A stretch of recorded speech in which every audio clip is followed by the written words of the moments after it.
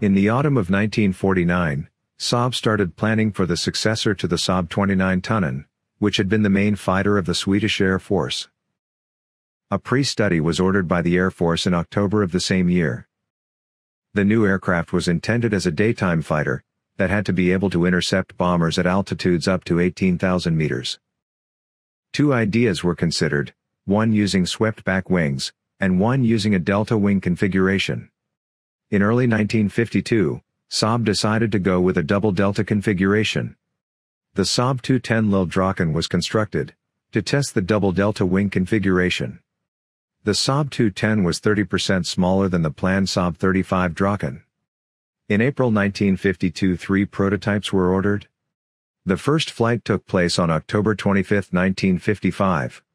In January 1956 one prototype reached a speed over Mach 1, while climbing, using no afterburner.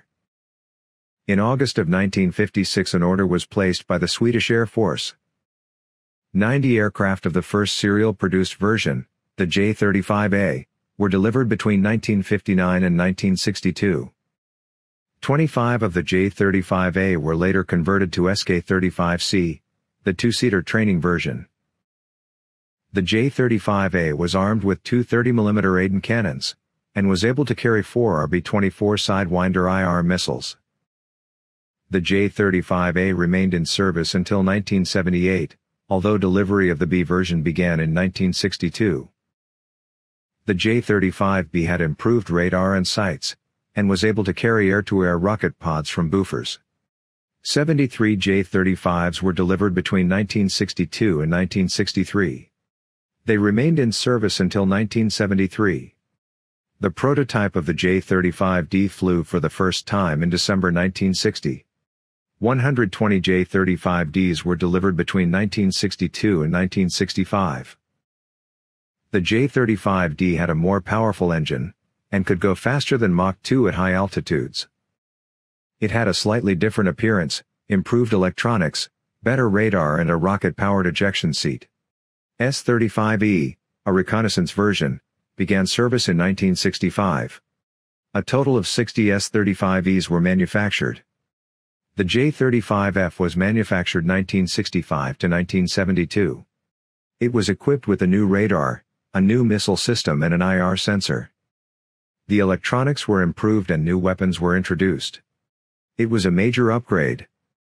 Between 1987 and 1991 a total of 66 J-35Fs were modified to J-35J.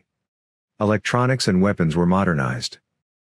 Swedish pilots flying the Saab 35 Draken invented what later has become known as the Cobra maneuver.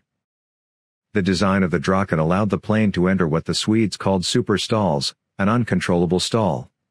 Due to this, pilots on the J-35 were trained to prevent super stalls from happening. Out of this training came what is today known as the Cobra maneuver, which the Swedish pilots effectively used in mock dogfights with Soviet fighters over the Baltic Sea during the Cold War.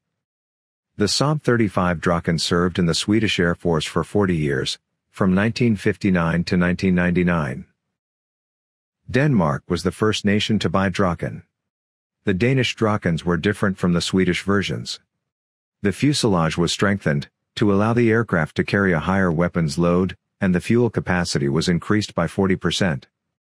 The version was designated 35XD, and was not equipped with a radar. Finland used Draken as fighters and trainers.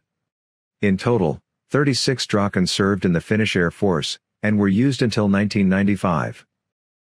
The Austrian Air Force used Draken from 1987 to 2005. Austria was the last country to use Draken in active service.